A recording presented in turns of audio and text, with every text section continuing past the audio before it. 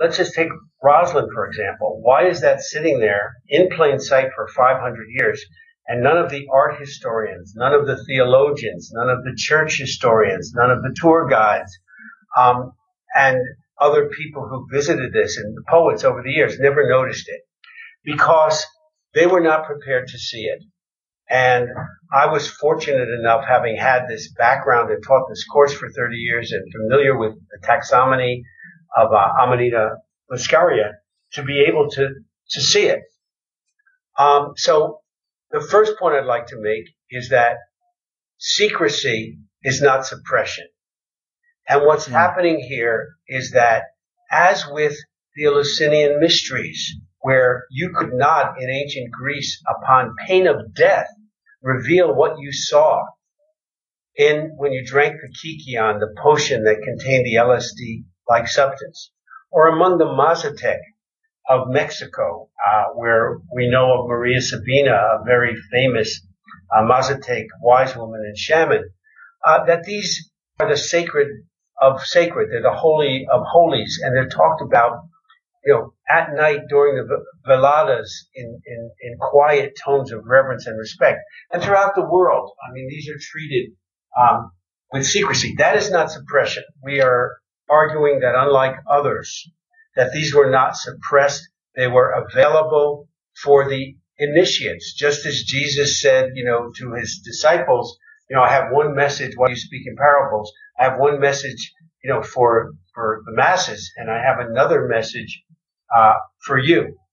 The next point I'd like to make, and especially to our Catholic listeners, is that we are not here, and we didn't write this to challenge anyone's faith in Christianity, but rather mm. to reveal a mystery that we believe is prominent in many, not all, but many of the world's religions. And this is not so far a stretch when you consider that Christianity arose in a circum-Mediterranean, an area around the Mediterranean that was rife with mystery cults, Neoplatonic cults, um, and that that knew about psychoactive plants. Certainly, the Eleusinian mysteries, certainly uh, the Therapeutae of Egypt, and other esoteric communities.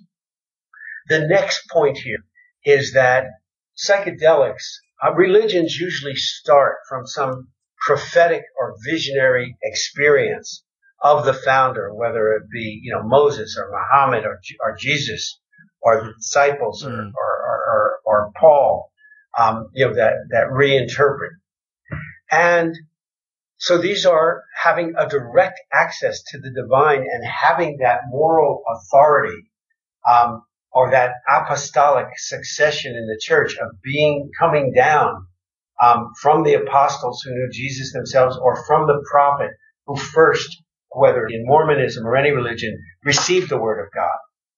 So the next issue mm-hmm. becomes, can psychedelics give you a direct experience of the divine or of God, if you prefer the word, or of that, um, you know, universal intelligence that pervades the universe, as some others have put it? And the answer is absolutely. And how can I say absolutely? I can say it because it's been experimentally verified.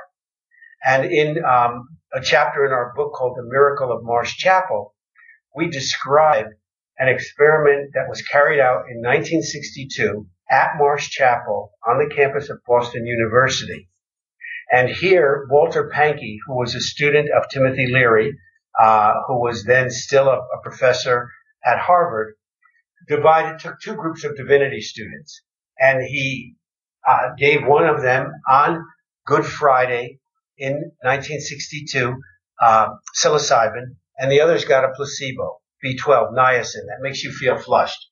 This is a true mm-hmm. double-blind experiment.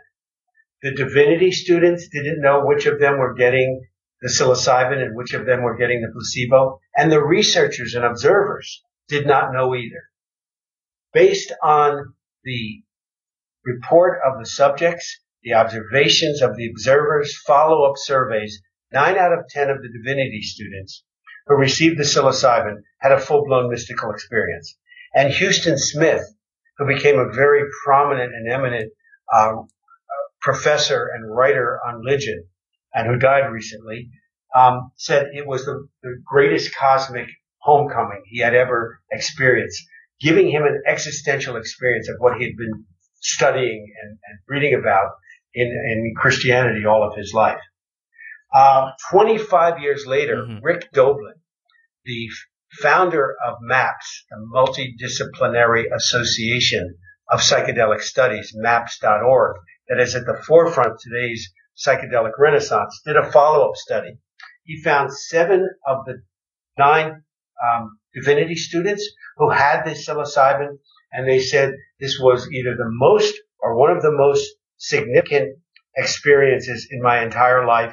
It had a very positive influence, and I've integrated it uh, into my life. Walter H. Clark, um, a very uh, decorated American psychologist, said, and I quote, there are no other experiments known to me in the history of the scientific study of religion better designed or clearer in their conclusion than this one. So what happened here? This experiment created a really illuminating fusion of science and religion, showing that, ironically, a pill, you know, taken um, in the in, the, in yeah. the contemporary world could give someone a full blown uh, experience of the divine, and for them it meant literally encountering Jesus or the disciples or going into a mystical realm of the divine experience, um, this is, this is very significant because it experimentally verifies what ancient and biblical prophets have spoken about.